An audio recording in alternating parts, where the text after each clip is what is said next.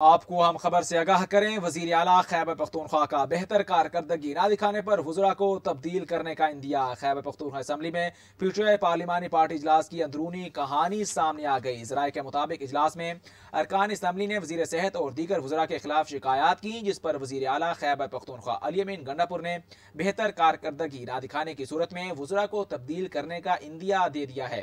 जराये के मुताबिक इजलास में चीफ सेक्रेटरी और आई जी को तब्दीली का मामला जेर बहस आया है। आपको हम खबर से आगाह करें, खैबर पख्तूनख्वा से।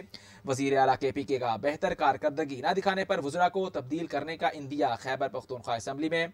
पी टी आई पार्लिमानी पार्टी इजलास की अंदरूनी कहानी सामने आ गई। जराये के मुताबिक इजलास में अरकान असम्बली ने वज़ीर सेहत और दीगर वजरा के खिलाफ शिकायत की, जिस पर वज़ीर अला खैबर पख्तूनख्वा अलीमीन गंडापुर ने बेहतर कारकर्दगी न दिखाने की सूरत में वजरा को तब्दील करने का इंदिया दे दिया। जराये के मुताबिक इजलास में चीफ सेक्रेटरी और आईजी की तब्दीली का मामला जेर बहस आया है। आपको हम खबर से आगाह कर रहे हैं, वज़ीर अला खैबर पख्तनख्वा। अली अमीन गंडापुर का बेहतर कारकर्दगी न दिखाने पर हुजरा को तब्दील करने का इंदिया खैबर पख्तनख्वा असम्बली में।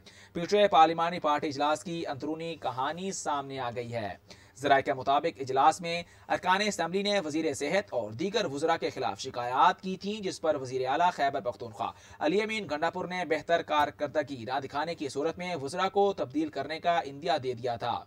और जराये के मुताबिक इजलास में चीफ सेक्रेटरी और आई जी की तब्दीली का मामला भी जेर बहस आया है। आपको हम खबर से आगाह करें, वज़ीर अला के पी के का बेहतर कारकर्दगी ना दिखाने पर वजरा को तब्दील करने का इंदिया जराये के मुताबिक इजलास में चीफ सेक्रेटरी और आई जी की तब्दीली का मामला जेर बहस आया।